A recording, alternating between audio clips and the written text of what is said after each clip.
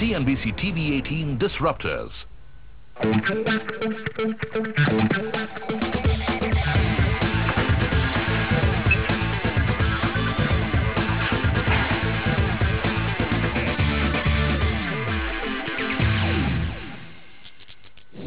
Hello and welcome. You've tuned into CNBC TV 18's Disruptors, and I'm your host Nitya Balakrishnan.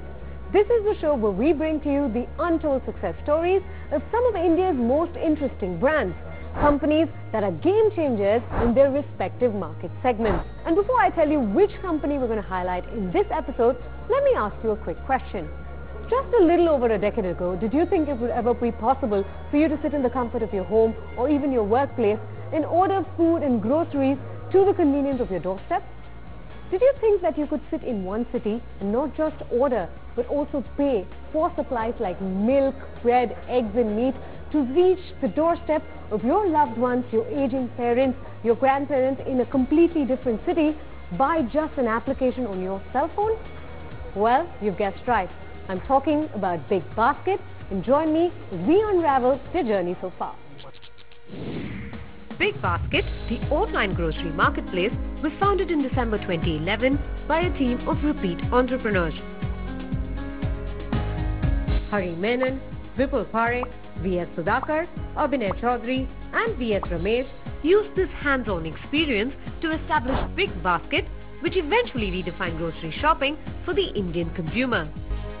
Today, the company boasts of a presence in over 25 Indian cities with about 60,000 products across a thousand brands available on its website, ranging from fresh fruits and vegetables to staples like rice, wheat, pulses and oils, and even beauty and makeup products. After raising an investment of over $500 million to date and still counting, the team believes the best at Big Basket is yet to come. I'm in conversation with the chief architect, the brains behind Big Basket. Hari Menon, thanks so much for joining us on Disruptors. And I'm going to take a quote from my favorite movie, The Sound of Music. Let's start at the very beginning. Talk to us really about the birth of Big Basket. And did you think in your wildest dreams that in little under or over seven years, it's going to be a baby this size?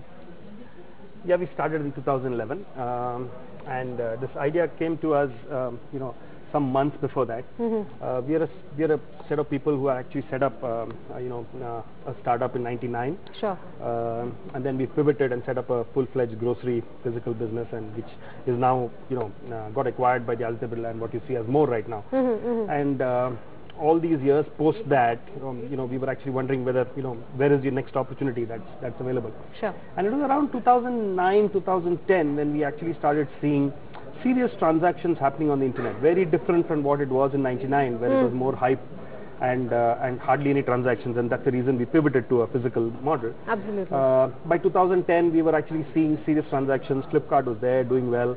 Uh, people are actually, you know, buying. You know, people are buying in in in, in, in smaller cities, smaller towns. Mm.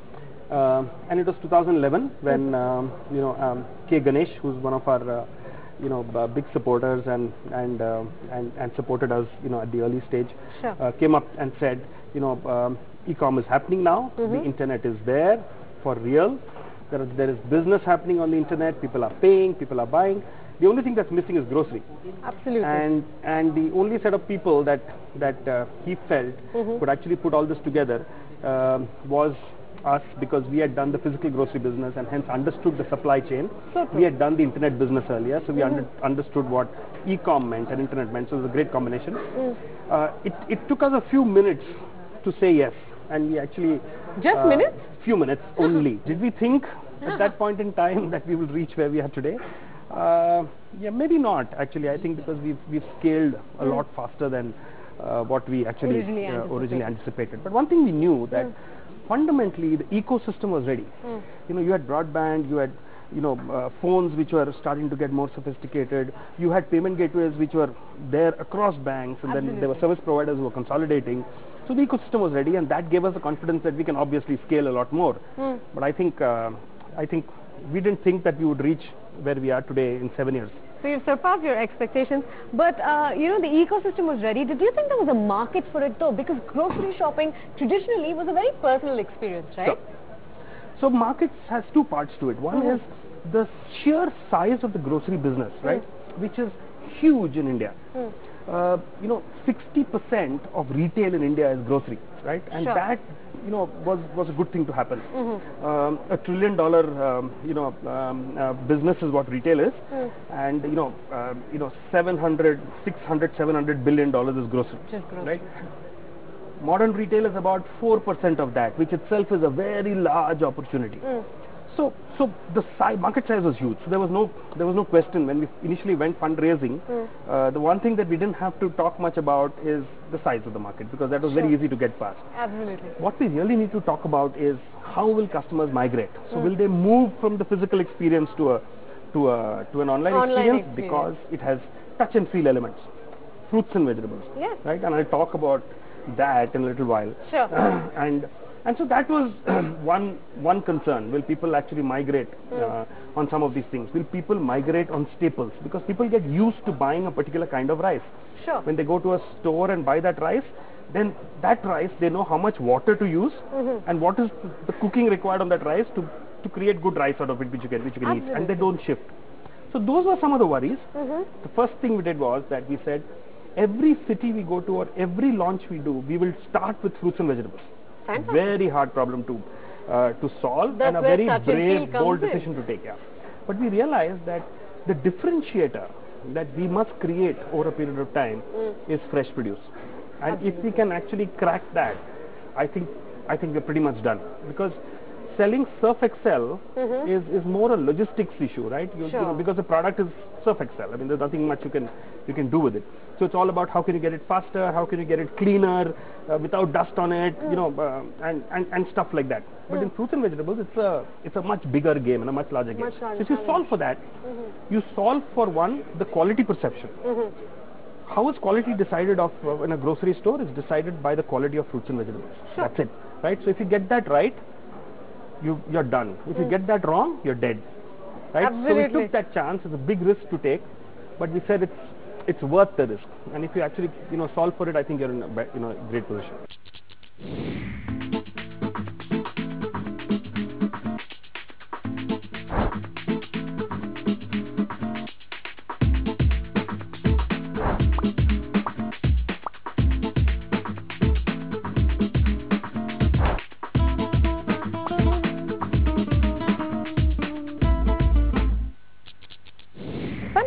Now, if I could look back at numbers, you uh, did say it was initially for about a year restricted only to Bangalore.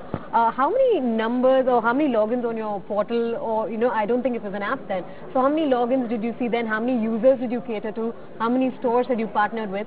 Vis-a-vis fast forward to now. And what's the kind of uh, clientele that you have at Big Basket? Yeah. So I I'm I, I don't think I can I can actually remember how many how many customers we had then.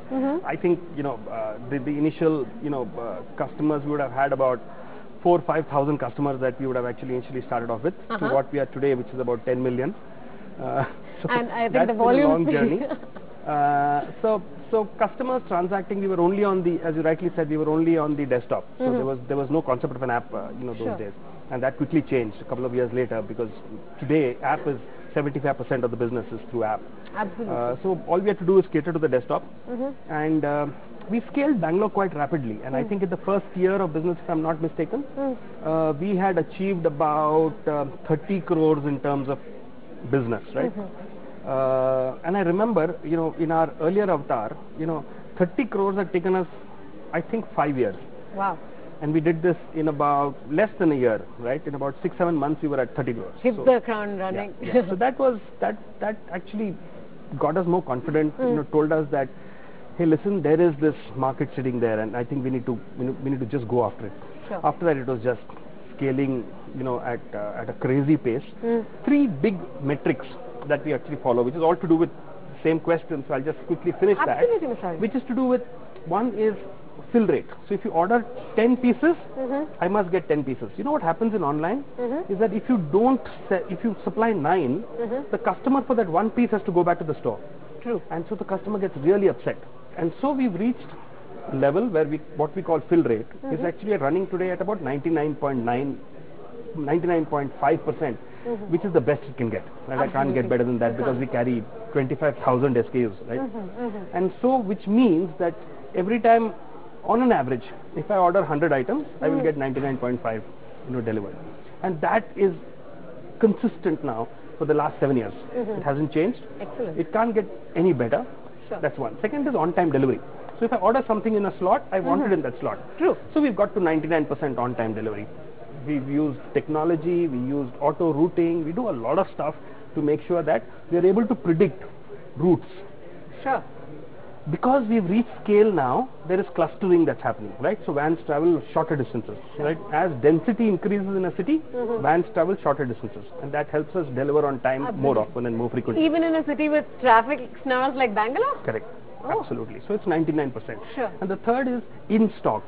Right? We wanted to make sure that when a customer comes on site, uh, he sees as few as items as possible out of stock. Out of stock, yeah.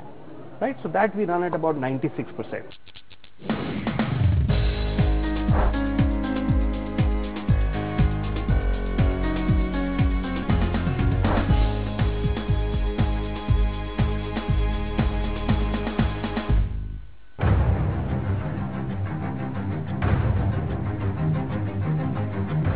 Courtyard by Marriott. CNBC TV 18 Disruptors.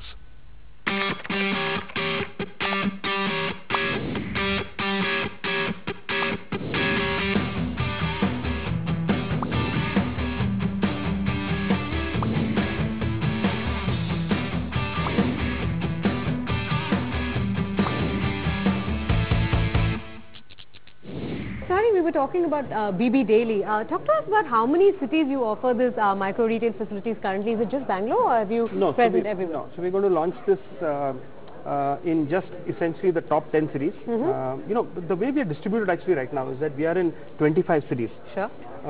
and we are going to add one more, Mhm. which is the 26th city, which is going to be Kochi, Interesting. uh, in another little over a month or so. Mhm. We've also chosen now to say that we are not expanding anymore from a city perspective, geography perspective, because we believe that the market opportunity in every city is so large that we would now want to go deeper, into Deeper into the city than market. spread yourself wide. Hmm. So that's clear. Hmm. 26 is broken up into two parts, what we call tier 1 and tier 2. Mhm. Right? Tier 1 is 10 cities Mhm. and tier 2 is what we call 15 cities. Now Sure. it's going to become 16. 16. Uh, BB Daily and BB Instant, the other piece that we're, that we're going to, uh, we are going to, are, are already started, is going to be only in these 10 cities, Sure. is what we are starting. So now as we speak, I think we are there in all 10. And uh, BB Instant is another whole new, uh, you know, game. Talk to us about BB Instant. So it's another channel for customers. Now there are customers during the day, uh, children playing in the apartment complex, uh, suddenly want biscuits, want want uh, some juice, want paper boat. You know, the lady at home decides that hey, I want to pick up something which I've maybe forgotten or missed. Uh, uh, nine o'clock in the night, I sit and, and, and want to have a drink, and I realize I don't have soda, True. so I can go down and pick up that. So this is just another channel. Mhm. Eventually, what it will tell us is which channel works well for what products, Absolutely. and then we'll fine tune our business accordingly. So today we have full service business, Mhm. we have the express business, Mhm. we have the micro delivery business that basically gives you fresh milk plus everything else you need. Absolutely. We have unmanned kiosks in the apartment complex. Uh, children buy biscuits, children buy uh, you know juices. The lady at home comes and buys whatever she wants. So it's essentially top up emergency kind of items that we'll stock there. Almost like a vending machine model in that It is sense. a vending machine. And you can just uh, pay Use for it on your app? Yes. Okay. Use Great. your app. The app tells you this is again a, another app, right? Mhm. So today we are creating three instances of apps. So we have the basic BB app, then we have the BB BB Daily, app, Mm-hmm. And the BB BB Instant app. We will at some point bring it all together. Uh, is fundraising still an ongoing journey? Are you in the process of uh, so it raising will, more yeah, it, it is going to be an ongoing journey for uh, for maybe a little more time to come, Mhm. uh, because now we are investing heavily into growth, Sure. and we think that we need to really press the pedal now and and uh, and uh, market ourselves, you know, a lot harder. And so now every everything that you do in terms of raising money or investing into is for growth. And what comes, what is required for growth? It's marketing. Mhm. Second, what you require for growth is is infrastructure, where we need to invest into, and third is technology, right? And tech, with technology also comes analytics. Mm. So that's something that we're investing heavily into, because our ability to understand customers uh, is so important yeah. and differentiates us from the physical business so much that we are able to do a lot more for customers because I know them a lot better. Mhm. So it's essentially about marketing, infrastructure, technology Sure. that we'll keep investing into. Uh, so we will raise, you know, another round, uh, you know, uh, we're not we're not in a hurry now because actually we just raised the, the last round. So Absolutely. in the next couple of months, and so we are just in the early stages of trying to plan for that. But it is an ongoing process. And uh, if I were to ask you then, uh, do you have a vision 2020, maybe vision 2025? Because you did mention now that the business model will be deeper penetration of the already existing markets. Yeah. So so vision has basically two parts. One is there's the business side of the vision, right? Which is what do we want to do in the next two three years? It's very clearly we want to you know become a, a billion dollar business, which is you know I think we should we should hit that um, in a year or two. For example, uh, I think from a top line perspective, everything goes well. We should be anywhere between 3,500 to 4,000 crores, uh, if, uh, not run rate, but our, our business for 18, 19 Sure. the run rate would more more like you know because in the month of March I think we'll do 500 crores in the month of March, which is actually a, a 6,000 crore run rate. All right. So that's a run rate perspective more from valuation, but for the year, like any traditional business looks at it, we will be anywhere between 3,500 to 4,000 uh, 4,000 crore business, right? Which puts us amongst the top five six retailers, grocery retailers in the country, including physical. Sure. because online we're obviously uh, leading and way and way ahead uh, you know of the business. So so idea is to double every year right? So so if you double then the then the year after that you hit the billion dollar business. Sure. and the objective on a business standpoint is to be amongst the top three grocery retailers in the country. That's what we want to be right? Uh, so quickly get there which means that you know it will require maybe a year more um two two and a half billion dollar you know kind of revenue is when mm. when it kind of hits you you get there. That's on the business side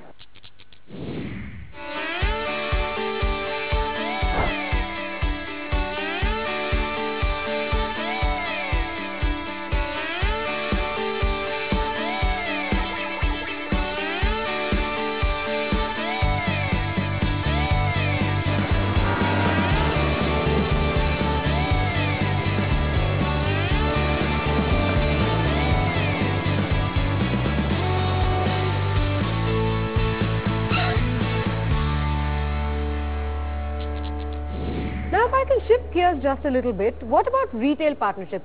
There are some uh, exclusives that you've started with uh, ITCs, Yippee, and uh, the likes. So, talk to us really about A, the retail presence and partnerships that you have, and B, are we going to see more and more exclusives on Big Basket? Yeah, we will see exclusives. You know, it's it's a way of working closely with you know with our uh, FMCG partners. Yeah. Uh, we have become quite quite sizable. You know, from a from a business perspective, I think. Uh, um, you know, as far as they're concerned, what why do people want to do this, especially with online? Is because one, it gives them access to all our 25 cities very quickly.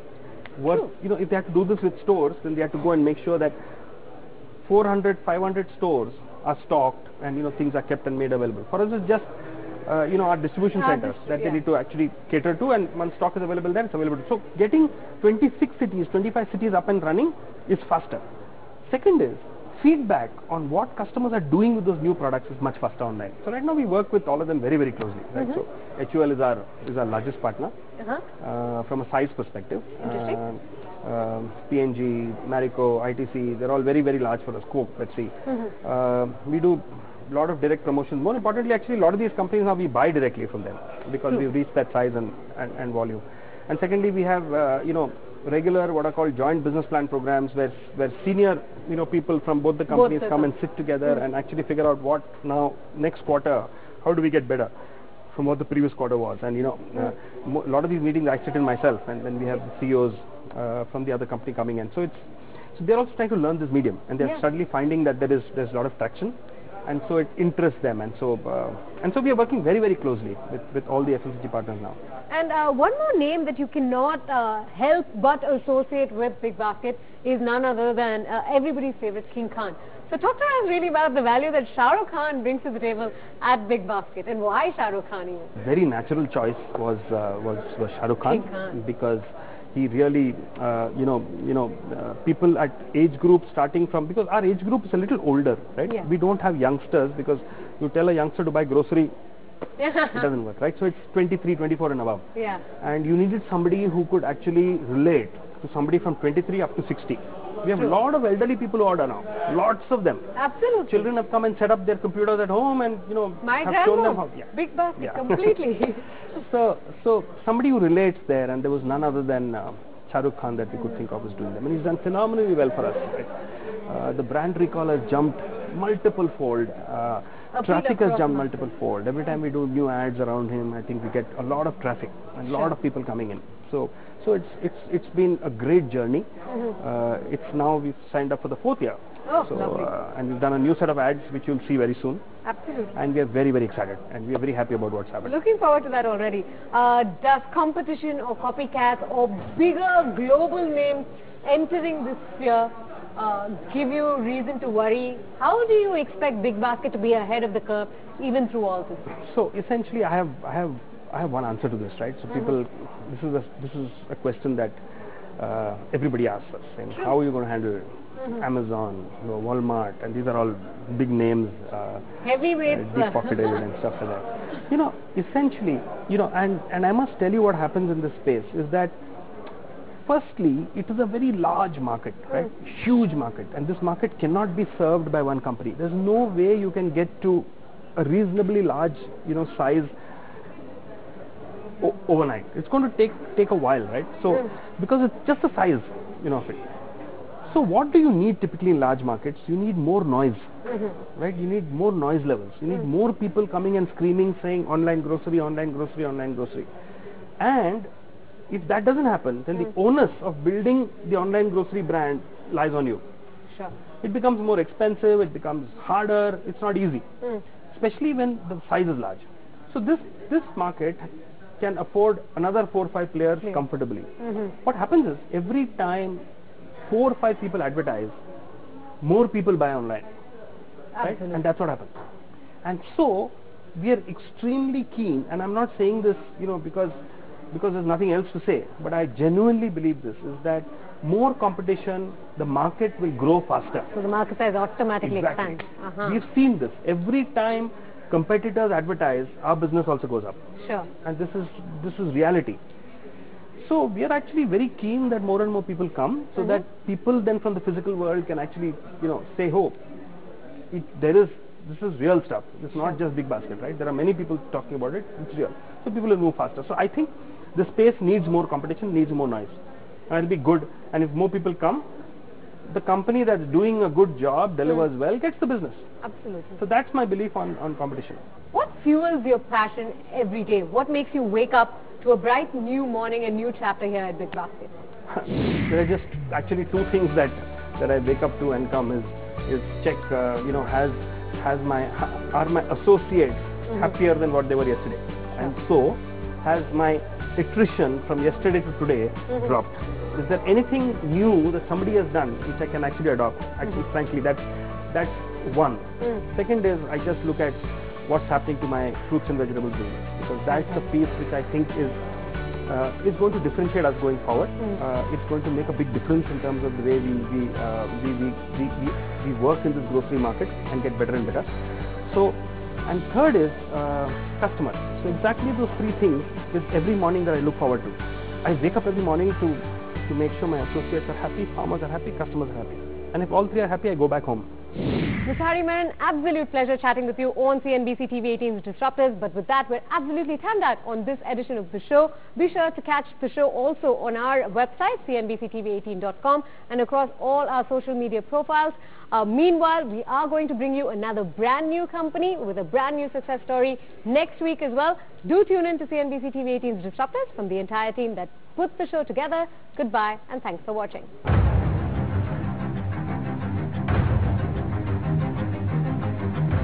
Courtyard by Marriott presents